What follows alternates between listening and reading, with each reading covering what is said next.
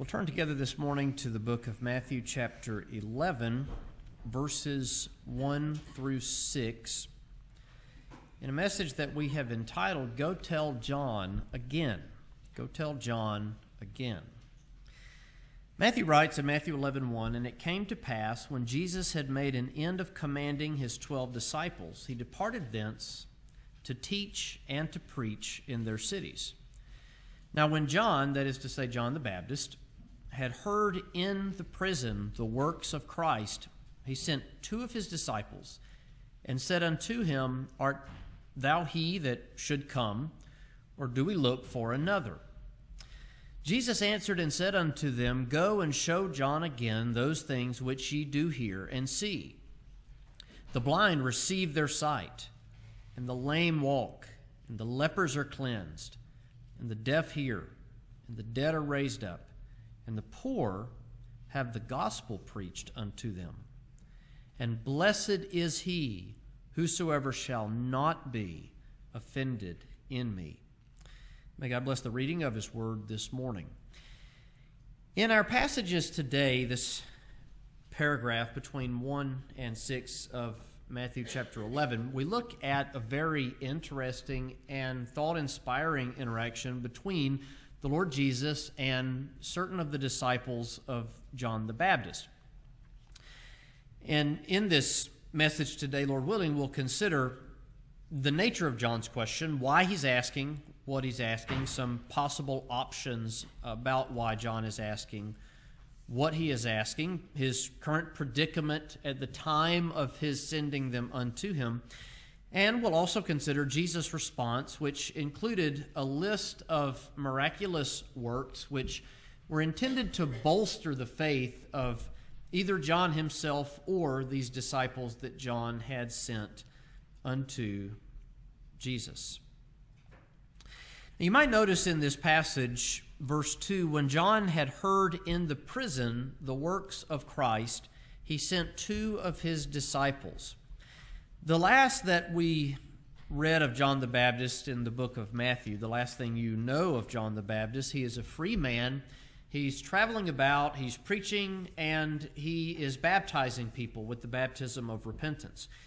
As we know, and as Jesus would say in the interactions following this conversation, John the Baptist was that promised forerunner, if you will, for the ministry of the Lord Jesus Christ. He would prepare the way for the Lord Jesus Christ. He was a voice that was crying in the wilderness. John is a very special character. He's a pivotal character as a man of God in the history of the kingdom of God in the world.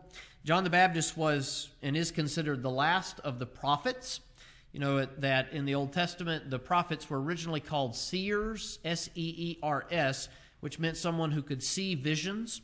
Uh, a vision is something that you see. The word vision and seer, those are similar concepts, and they began to be known as the prophets. John is considered to be the last of the prophets, but also the first of the New Testament ministers. And so he's a pivotal figure in that way. We have pivotal figures in the Bible in instances such as that. You might look at Samuel is one of those pivotal figures in that he was one of the last of the judges before they had kings, and then one of, of course, he served in the capacity of a prophet later in his ministry to the nation of Israel, his ministry to God. But you have pivotal figures, and John the Baptist is one of these pivotal figures. He paves the way, as it were, for the ministry of the Lord Jesus Christ. John, at this point in his life, this is near the end of his life, the end of his ministry, had actually been imprisoned. Now, while we are introduced to that concept in Matthew 11 2, when John heard in prison the works of Christ, he sent two of his disciples. We actually don't find out in Matthew's gospel why John the Baptist is in prison until Matthew chapter 14, after he had already been beheaded. So, skipping to Matthew chapter 14, we'll turn there just briefly. John the Baptist has by this point been beheaded, and Matthew references back to the beheading of John the Baptist in Matthew chapter 14. At that time, Herod the Tetrarch heard of the fame of Jesus, what sparks this reference back to the death of John. Herod had heard of Jesus, the fame of Jesus, and he said unto his servants, This is John the Baptist. He is risen from the dead, and therefore mighty works do show forth themselves in him. And so we learn that John the Baptist has been executed because the man who had him executed now says, Well, John the Baptist must be risen from the dead when he heard of the fame of Jesus of Nazareth. He said, This is John the Baptist risen from the dead. Now you notice that this is Herod the Tetrarch, and just for the sake of history and the identification of who this particular Herod is, when you read in the New Testament Herod, sometimes you're not reading of the same person named Herod. The Herod family was a family of people who were part Israelite and part Edomite, which meant that they were the offspring of Esau. They were descendants of Esau and his nation, the nation of Edom. They, the Herod family, were put in a position of rule over Judea by the Romans.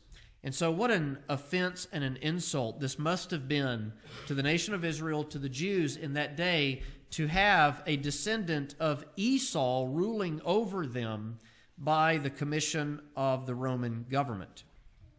You have in the early gospel accounts Herod the Great. That was the Herod that issued the decree that slaughtered all the children at the birth of Jesus. You know, that Jesus' family flees into Egypt and then they return and then go up into Nazareth where Jesus is raised. That was Herod the Great, and Jesus' family would come back after the death of Herod the Great.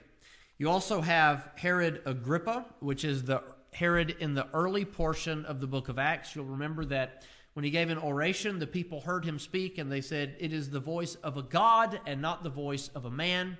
And because he gave not God the glory, because he was willing to receive that worship, God struck him down with an infection of worms, and he died of that infection of worms as a judgment upon him. And there's some interesting myths or folklores, you might call them traditions or histories, we don't know if they're true or not, about the way that God informed him that this was going to happen. He saw an omen, I believe it was an owl, according to tradition, and when he saw that, he understood that he was going to die this infection of worms was not what I like to refer to as Indiana Jones style infection of worms, where they all come up out of the ground and eat you, and then the skeleton is left. You know what I'm talking about? It's not like that. He was stricken with an infection of worms, and it was a very lengthy, agonizing, disgusting way to die. He would not be the first man who was in political authority who would die in that way. Uh, back in the Old Testament, in the period between the old and the new after the rebuilding of the temple, after the days of Ezra and Malachi, before the days of John the Baptist. You know, there were some 400 years. There was a man named Antiochus Epiphanes who was a great persecutor of the Jews, who banned circumcision and uh, made desolate the temple, sacrificed a pig on the altar to God, and put up an image to a false God in the house of God. And when he attempted genocide against the Jews, Antiochus Epiphanes actually was stricken by God with an infection similar to this of worms, and he was so putrid in his stench that even his servants could not approach unto him in the room he was in. And one of the last things he did was attempt to apologize to the Jews, realizing the handwriting on the wall, so to speak, and attempted to apologize to them and to undo that which was happening to him. And of course, you know, the Lord took him and judged him, killed him in judgment. And then in the later portions of the book of Acts, you have a man named Agrippa. That would be Agrippa II, which was also a Herod. This Herod, however, is Herod the Tetrarch. The Herods, at this point, the reign of them, the political reign, was divided into four. You had these four tetrarchs. This is Herod the Tetrarch, he heard of the fame of Jesus, and he presumed that this was John the Baptist who had risen from the dead. Now, concerning how John the Baptist had been killed, Matthew 14 3, Herod had laid hold on John and bound him and put him in prison for Herodias' sake, his brother Philip's wife. Why is John imprisoned. Herod had him imprisoned because of Herodias, his brother Philip's wife. John had said unto him, It is not lawful for thee to have her. In other words, Herod had lusted after his brother's wife and had taken his brother's wife to be his own wife. These are winners right here. These are some winners. That's what my mom always used to say about people who might be a little nefarious. That, that's a real winner right there. He takes his brother's wife. And so, John, being the prophet that he is, the preacher that he is, when Herod does this, John tells him, It is not lawful for thee to have her. You are violating the laws of God when you took her unto yourself. And so, what does Herod do? He has him imprisoned, and when he would have put him to death, he feared the multitude because they counted him as a prophet. Now, this is one of many infinite politicians in the history of the world who couldn't do what they wanted to do because they feared the population, they feared the people. Now, this uh, needs to be taken in its intended meaning. We are not to be rebels. We are not to be people who engage in civil unrest and riotous behavior. The Bible condemns that in both testaments. But at the same time, think about that. You have one man in political authority and thousands of people under their rule. What happens when the thousands of people no longer want to obey the one person in political authority? Well, you have an uprising, you have an insurrection. Sometimes through military force, those are subdued. Sometimes the insurrection is victorious, and you have what is known as a coup. And in countries around the world, this happens at least every couple of years. You see where there's some sort of civil unrest. It's happened recently in South America, and it's happened in the Arab world over the past few years. It's a thing that happens in the world. He fears the people. As a politician, he fears the people. And so he didn't put John to death, even though that is what he wanted. However, when Herod's birthday was kept, here's one of the only birthday celebrations in the Bible. When Herod's birthday was kept, the daughter of Herodias danced before them and pleased Herod. Here's a fine, outstanding example of a godly mama. I want you to come in here and dance in a lewd manner in front of this king who is now my husband, who is the brother of my ex husband. Uh, if you read the history of the Caesars and you read the history of the Herods and you read the history of some of these ruling families back then, these are messed up people. These are messed up people. I don't intend for any of that to be as funny as it is, but for some reason it is. These are messed up people. Whereupon he promised with an oath, I like the way you dance. I'll give you whatever you want. And she, being instructed before of her mother, here you have some of her mother's motivation in this and sending her to dance, said, Give me here John the Baptist's head in a charger. Give me his head in a box. And the king was sorry, nevertheless, for the oath's sake, and them which sat with him at meat, he commanded it to be given her. And he sent and beheaded John in the prison. And his head was brought in a charger and given to the damsel, and she brought it to her mother. And the disciples came and took up the body and buried it and went and told Jesus. So, what we read of John the Baptist being in prison in Matthew chapter 11 occurs after the fiasco there of John standing up to Herod and condemning Herod, but before this dancing of the daughter of Herodias and her request to have John the Baptist's head in a charger. Now, there's some things that we can learn about this or from this that uh, are attributable to us today or instructional for us today. This lends some biblical insight into a pastor's role in the political realm. Now, please understand, and, and we harp on this all the time, that God's Word does not espouse a New Testament theocracy. Jesus has a kingdom in the world. His kingdom is right here, right now. It is not of this world. It transcends every socioeconomic status, every bracket, every ethnicity, every race, every nationality, male nor female, bond nor free, Jew nor Greek. We're all the same in Christ. He did not come to establish some sort of a Christian democratic republic, his theocracy is the church. And it is a kingdom that breaks into pieces, according to Daniel's prophecy of it, and infiltrates all of the other nations of this world and permeates through them and influences them. And this kingdom will have no end. It is not of this world. If it were, his servants would fight. This is a kingdom that has no end. It cometh not with observation. It is within you. We are translated into it. There are several, several references to it and the nature of it in the Word of God.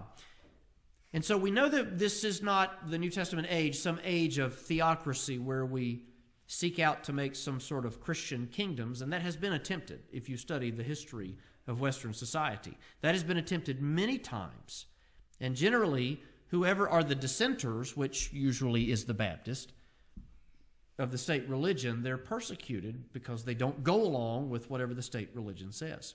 What then is the role of the pastor in politics? I submit to you that what John the Baptist did is what the pastor is to do in human society. What did he do? It is unlawful for you to do what you are doing in the sight of God. so you might put it this way that the gospel ministry serves, in a sense, as the conscience, the conscience of the powers that be we declare unto those who are in authority what is right, what is wrong. They might disregard what we say, like Herod disregarded what John the Baptist said. They may persecute you. They may listen to you. And when they listen to you, much like Daniel and Nebuchadnezzar, we actually find blessing for the nation that is influenced by the gospel ministry and the people in that nation. Think about Joseph as he was carried into captivity in Egypt, how God did exalt him, God was with him, and God blessed him to interpret the dreams of Pharaoh, and Pharaoh respects that, and he exalts him. He honored him, he cared for him, and Pharaoh exalts him up even only under his own authority in the entire nation of Egypt. Joseph was a man who, through godly wisdom, influenced that nation to the deliverance not only of that nation, but also the surrounding city states and the early nation of Israel. One godly man in a position where he could influence the powers that be. And that is, I believe, the biblical role of the gospel minister in human society to declare the word of God to everyone, particularly those who are in authority to say, This is what the King of Kings and Lord of Lords expects of you. Think about that phrase for just a moment. Jesus is the King of Kings. That means that he is the ruler of the rulers. Now, if he is their king, what sort of king has no laws? What sort of king has no rule? What sort of king has no dominion? No, as we read in that psalm, Psalm 75, God raises up, God sits down. God is the King of kings he is the Lord of Lords, and it is the role of us, as it was the role of John the Baptist, to proclaim God's word to the nation around us and serve, in a sense, as the conscience of a society. We are the salt of the earth, the light of the world. Those are intentional phrases. We serve as a preservative and we serve as illumination. Preservative and illumination. This leads to unpopularity many times. When you stand before a ruler and you say, What you are doing is immoral, it is ungodly, and it is wicked, you will find yourself making many enemies in this world. At times, it occasionally leads to persecution. In the case of John the Baptist, it led to his ultimate demise. And so John is in prison here in Matthew 11. Let's go back to Matthew chapter 11 now that you understand the context of what had taken place in John's life. It came to pass when Jesus made an end of commanding his twelve disciples that he departed thence to teach and to preach in their cities. Now, when John had heard in the prison the works of Christ, he sent two of his disciples, and he said unto them, Unto him, Art thou he that should come? Or do we look for another? Let's examine the meaning of this question. If you know everything there is to know about John the Baptist from the Word of God, everything that he said about Christ, which we'll consider momentarily, the things that he affirmed, the things that he believed, the things that he said, you know that this is a very puzzling question to come from John the Baptist. Art thou he? Art thou he? The very question implies some degree of uncertainty, or as we would say it, some degree of doubt. Does John the Baptist, at this point in his life, doubt that Jesus is the Messiah? Or was there another reason for his asking? Now, the reason I say, was it this or another reason?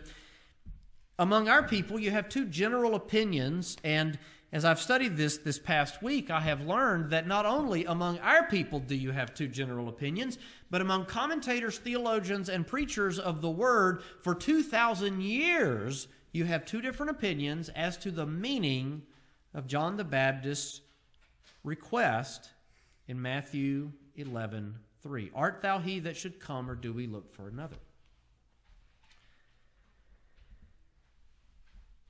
Option one is that John the Baptist was legitimately doubting because he was now imprisoned and he was in the midst of tribulation and persecution and he experienced doubt. His faith was tried and his faith began to shake. And as his faith began to shake, he sends word to Jesus to ask Jesus to reaffirm his faith again.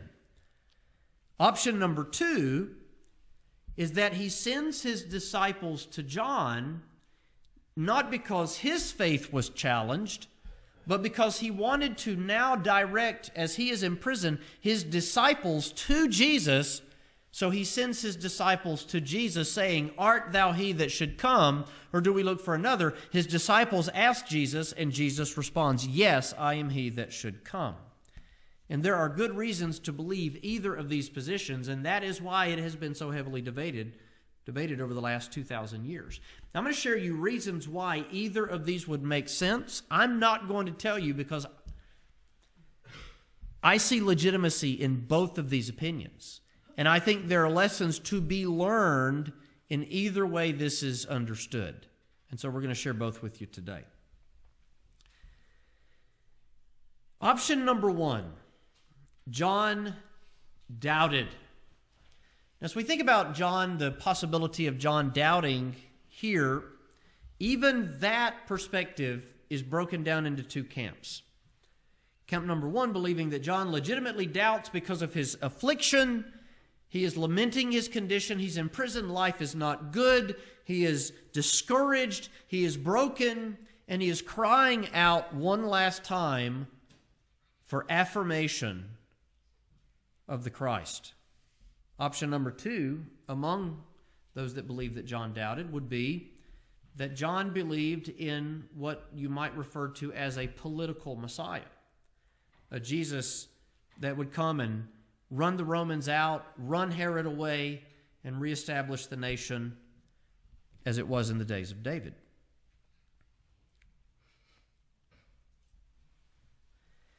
As we think about this, the reason that people would be skeptical that John was legitimately experiencing true doubt is because of everything that John had said about Jesus previously in their interactions together. And we want to share some of that with you today. In the book of Matthew, chapter 3, then cometh Jesus from Galilee to Jordan unto John to be baptized of him. Now, previously in John's ministry, John predicts in his office as a prophet I indeed baptize you with water unto repentance, but he that cometh after me is mightier than I, whose shoes I am not worthy to bear. He shall baptize you with the Holy Ghost and with fire, whose fan is in his hand, and he will thoroughly purge his floor and gather his wheat into the garner but he will burn up the chaff with unquenchable fire. And that answers what it means to be baptized with the Holy Ghost and with fire. Jesus baptizes his disciples all through the book of Acts with the Holy Ghost. And when they were baptized with the Holy Ghost, this isn't to be confused with the new birth. In the new birth, you're born of the Spirit of God, the Holy Spirit takes up residence within you. But as born again people hear the word and the Spirit falls on them in the book of Acts, they begin to speak with other languages, tongues that they'd never learned.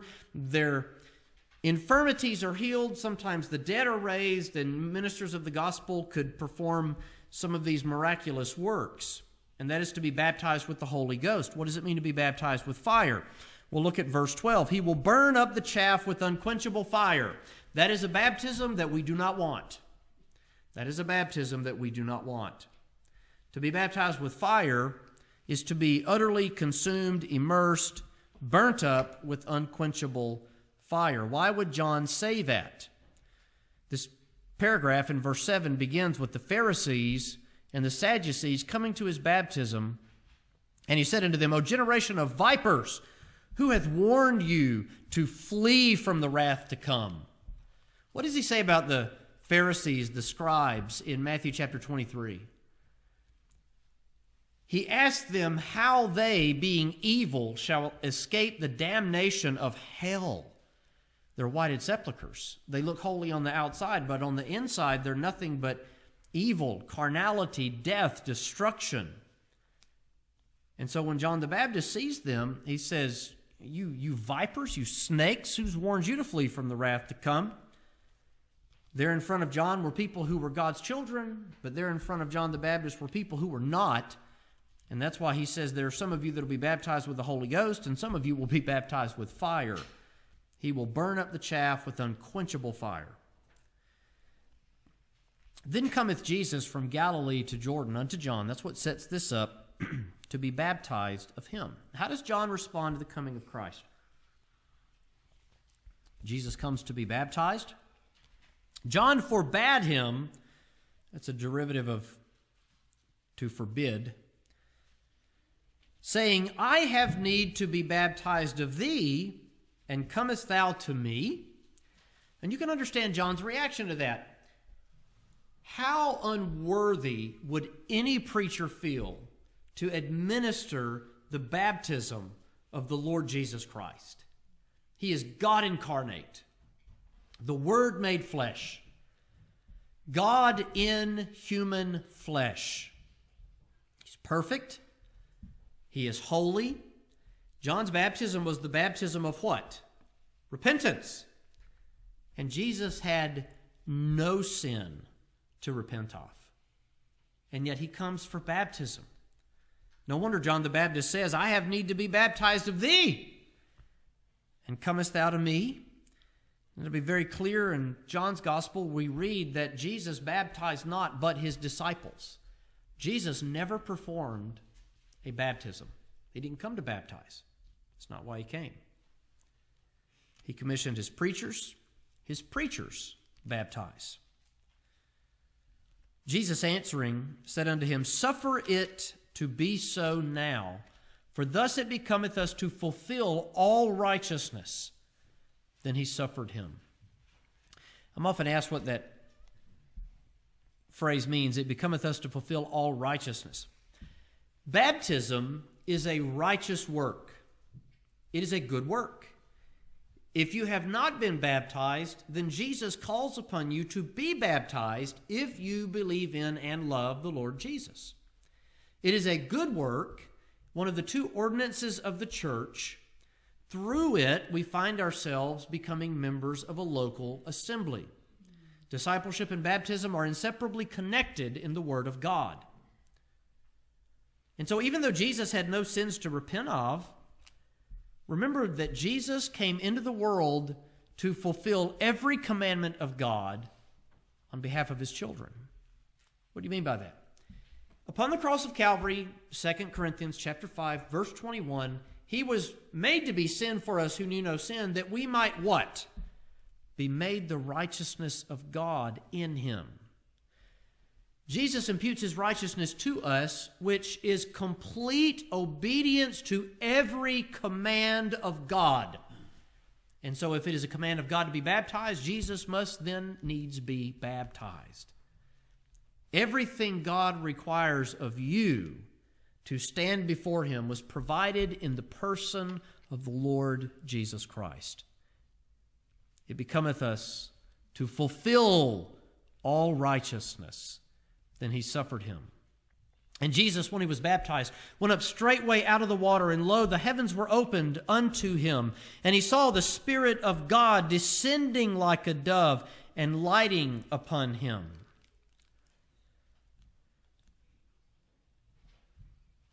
Who is the he who saw the Spirit of God descending on him like a dove? The word there, he, is a pronoun. Who is the antecedent of that pronoun? You might think Jesus, but in the book of John, we actually read that it is John the Baptist who beheld the Spirit descend on Jesus like a dove. A voice from heaven thundered, This is my beloved Son in whom I am well pleased. John witnessed all of those things. in the book of John, chapter 1. John's rendition of the baptism of Jesus. The next day John seeth Jesus coming unto him and saith, Behold, the Lamb of God, which taketh away the sin of the world. What does John say when he sees Jesus coming? It's the Lamb of God, the sacrifice that God would offer to take away the sin of a world of people. This is he of whom I said, After me cometh a man which is preferred before me, for he was before me, and I knew him not, but that he should be made manifest to Israel. Therefore am I come baptizing with water. And John bare record, saying, I saw the Spirit descending from heaven like a dove, and it abode upon him. And I knew him not, but he that sent me to baptize with water. The same said unto me, Upon whom thou shalt see the Spirit descending and remaining on him, the same is he which baptizes with the Holy Ghost. And I saw and bear record that this is the Son of God. In the next paragraph, again, the next day after John stood and two of his disciples, and looking upon Jesus as he walked, he saith, Behold the Lamb of God. So this is something that happens more than one time in John the Baptist's ministry as he begins to point people to Christ. In the book of John, chapter 3,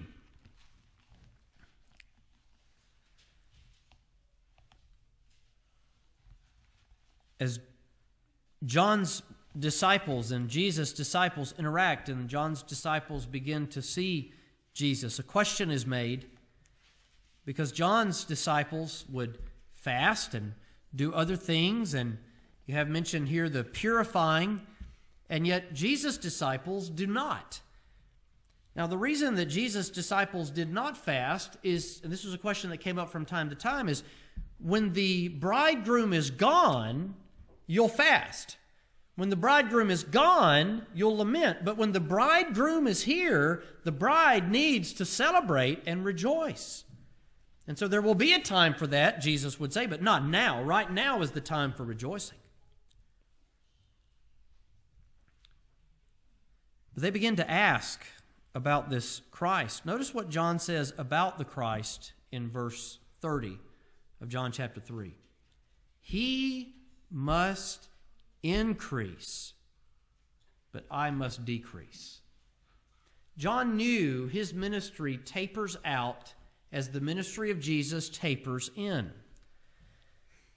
And because of those passages, many, many sound theologians in Christian history have opted to believe that John is not sending these disciples because he doubts, but because he wants his disciples to have confirmation in Christ. He wants their understanding to be that Jesus is the Christ. That being said, some have believed because of verse 6 Blessed is he whosoever shall not be offended in me, Matthew 11, 6, that this was legitimate doubt in the mind of John the Baptist. I'm going to give you a point, so I want you to latch on to that option as we close our message in just a moment. I'm going to give you a point from either of these three understandings. Because whichever understanding of this you have, there's a way that you can apply that to edification in your life. So let's say that John does doubt here. There's a couple of reasons people believe Why? Number one, he doubts simply because of his present affliction. He's imprisoned, he preached the word of God, and yet here he is facing death because he simply said, It is not lawful for you to take your brother's wife as your own wife. And so Jesus' reply would be directly to that issue Blessed is he that is not offended in me. The word offended here doesn't mean I'm upset at Jesus. When we use the word offended today, how many times do you see the word offended in the word in the world of social media in a week? Everyone's offended. I'm offended, you're offended, and we have parties where we get together in a room and we sit down and we just cry because everyone has offended us. That's life in America in 2019. We're all offended. He has an opinion and it's not mine. How dare he?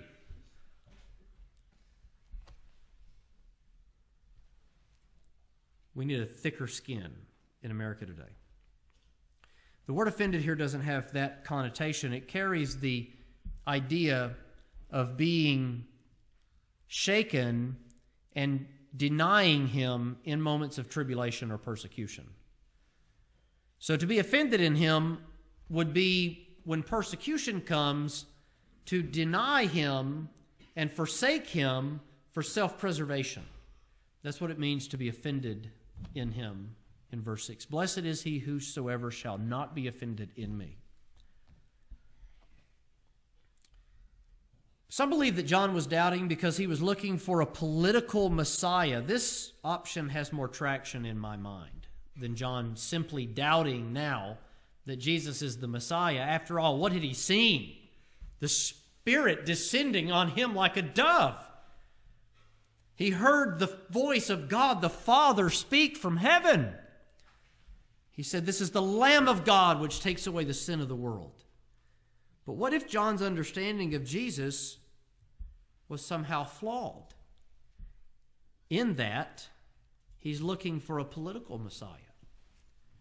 You say, well, what do you mean by a political Messiah? It was the belief of the Jews in the time leading up to the Messiah that the Messiah would not be the Christ that we know Jesus was, but that he was the Christ, the Messiah, who would assume the throne of David, which Jesus occupies today, but not in a way that they anticipated it. That he would assume the throne of David. Where did David rule from? Jerusalem that he would expel the Romans through military might, lead an insurrection against them, that Herod would be dethroned, and that this Messiah would restore Israel to the glory that it experienced in the kingdom of King David. That's very well documented that that was their belief. If you read uh, the, history, uh, the history of the nation of Israel after the time of Christ, it is actually their attempted insurrections against the Romans that led General Titus to besiege the city of Jerusalem, eventually wiping it from the face of the earth. They attempted that on multiple occurrences. That was what they wanted. So let's try that on for a moment. What if John the Baptist is doubting because he believes that Jesus was going to run the Romans out, run Herod out, and assume the rule? The apostles even asked this question in the book of Acts, chapter 1 and verse 6 Lord, wilt thou again at this time restore the kingdom to Israel? Sometimes we refer to the first century church, and please understand, I'm going to be very clear with what I'm going to say. We refer to the second century church, the third century church, as the church fathers. Sometimes it's better for us to understand them as the church infancy. Some of these doctrines hadn't been spelled out yet in their minds. Now, when the Holy Spirit pours out on the apostles, they have divine inspiration. And you notice in Paul's writings, he never once speaks about a restoration of the political power of the nation of Israel. Why? Because their eyes were now opened. You can read about that in the book of Acts, chapter 2. When they go out and the Holy Spirit falls on them and they begin to preach. Jesus said, Don't even go out and preach until the Holy Spirit has come upon you. And then they knew all things as it were. sometimes we should look at our forefathers before God had opened their eyes to the reality of things more as infants than fathers because they didn't know yet. You read some of the church fathers on the divinity of Jesus, and there are very questionable things that are written because those debates hadn't happened yet. You read their thoughts on baptism beginning in the second century, and we would not accept that as sound today. Why? Because the church was in its infancy. And until there was debate over an issue, there was not precision over an issue. And generally, the debate would come with some sort of division, one side being more precise, one side being less precise. One theory is that John the Baptist is looking for a political Messiah. Why would he be looking for a political Messiah? Where is he? He's in jail. Who put him in jail? Herod. The impostor king, Herod. That makes sense. Are you going to run them out? Do we look for another? Was I mistaken? Is it time to run him out of town? And what does Jesus do? You go tell him again that which we've seen, that which we've heard. The works that I do in my Father's name, they bear witness of me. Option number two is that John was sending his disciples not because he doubted, but that he was sending them with questions to validate Christ in the eyes of his disciples. Either of these positions are legitimate understandings of John's question. Now, Jesus responds in a very interesting way. Go and show John again those things which you do see and hear. What things do you see and hear? The blind receive their sight. In Jesus' ministry, he often gave sight to the blind. There were times that he did this in various ways. He might take clay and spit into the clay and or into the dirt and make clay and anoint someone's eyes with it and have them wash and their sight is restored. Those who had been born blind were given back their sight through the ministry of Jesus. The lame walk. And when we say lame today, that's usually what a teenager says about their parents' sense of humor. But the word lame doesn't mean lame like we take it to mean lame, like, well, he's pretty lame. Lame means that you have a physical infirmity. You might be a paraplegic. You may have suffered from polio. You may have a limb that was broken and never healed, and so it is withered, it is damaged. Maybe even an amputee. You might have been stricken with some sort of a disease that leaves you totally infirm, where all you can do is lay there. When Jesus healed the lame, that's what he would do. He would cause them to be able to stand and to walk and to run. And might I say, because occasionally you have a charlatan who advertises this sort of thing, and because of adrenaline and emotion, someone might leave there feeling like they're on cloud nine, but after a period of days goes back to their painful condition. When Jesus healed people, they were healed. Documented, real healings. I mean, a polio limb stretching out and becoming normal. Someone who is quadriplegic, standing up and not just walking, not staggering, but running and jumping. You notice this in some of the miracles. People would stand up and they wouldn't just walk, but they would begin to leap. Jesus has healed me. When he healed people, he healed people. Many times people claim that this takes place in the world today, but when you begin to ask them for documentation of this, suddenly it begins to become very suspicious because there is no documentation. Or, well, we healed them. They had cancer. Were they taking chemotherapy? Well, yeah. Okay, if God blesses you with healing through chemotherapy, radiation, or surgery, that's not miraculous, that's providential. Miraculous is when it happens with no means, where you have a tumor it's on the x ray. You go back in six weeks. You've had no treatment. You have another follow up before your surgery, and it's gone. Do those things happen? Yes, they do. That's the difference in providence and a miracle. And I think we need to make the distinction in our understanding of it. There's a difference in providentially blessing through medical means and miraculously blessing through God working all by himself. These are miracles. The lame walk, the lepers are cleansed. Leprosy is an interesting thing, and it's a plague that afflicted them. There are variations of it in the world today, and yet at the same time, some believe that the form of it that they struggled with in that day was not necessarily the same that men struggle with today. But lepers were cleansed. Jesus touched the lepers when all of the men were afraid to be near them, and they had to stand and cry unclean. He healed them through laying hands on them. The deaf hear. He opens the ears of the deaf. The dead are raised up. Jesus raises the dead. In fact, as we understand it, not one single person ever died in the presence of Jesus. Not one person. People didn't die around Jesus. If he shows up after somebody had died, guess what happened? They always get risen again. You know, we talk about preachers often secondary as a part time job in funeral homes because we have that, I guess, bedside manner and a closet full of gray suits, and so it just seems like a natural combination. We, and we joke about it being, well, that's at least one type of business that you can be in that you always have job security because it's like being a mechanic. Your, your air conditioner is always going to break, your car is always going to break, people are always going to die. And so there's always job security, but not when Jesus was around. When Jesus was around, the dead were raised. Over the next few weeks, I hope to go through the order of these miracles and maybe devote a message to each type of miracle themselves and look at some of the miraculous works of the Lord Jesus Christ. I think we'll enjoy that study together.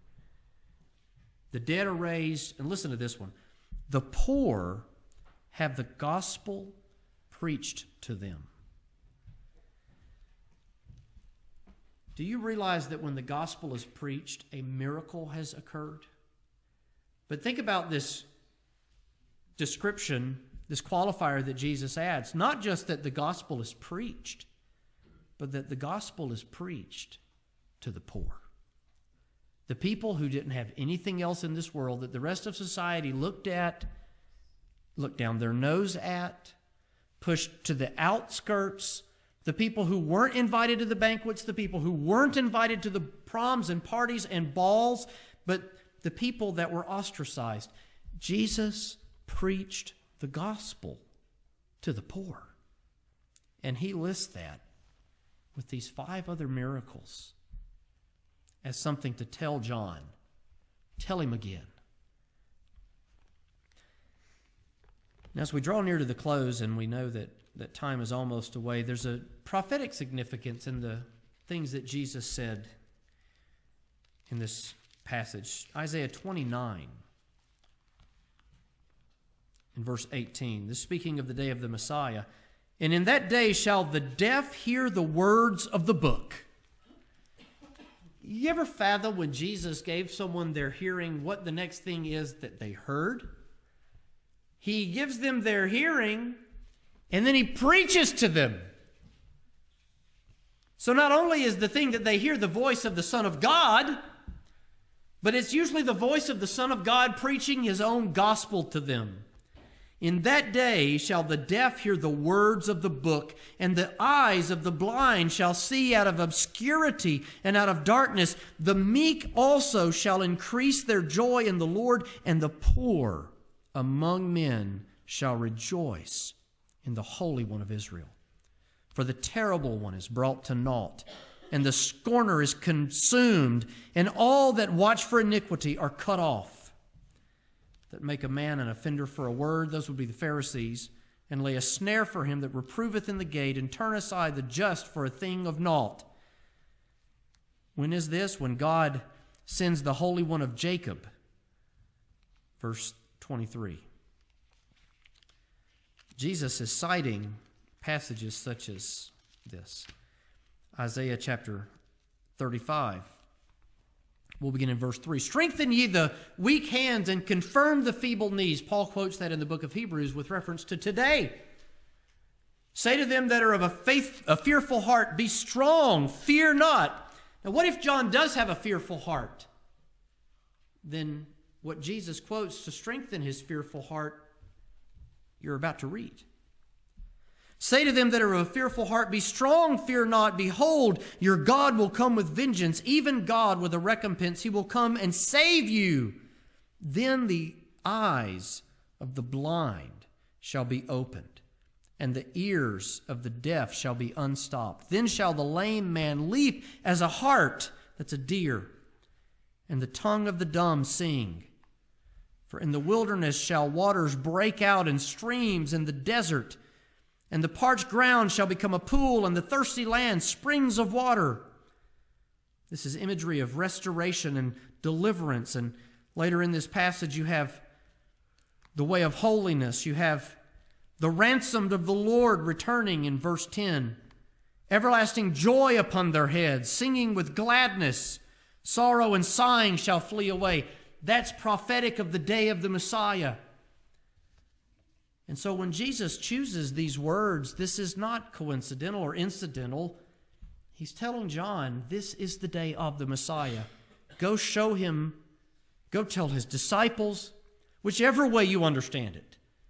Go tell them the things that you've seen and heard. The blind receive sight. The lame walk. The lepers are cleansed. The deaf hear. The dead are raised. The poor have the gospel preached unto him. That's six. You almost anticipate the seventh.